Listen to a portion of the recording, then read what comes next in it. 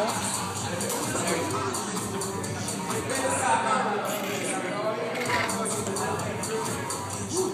not serve that to your customer.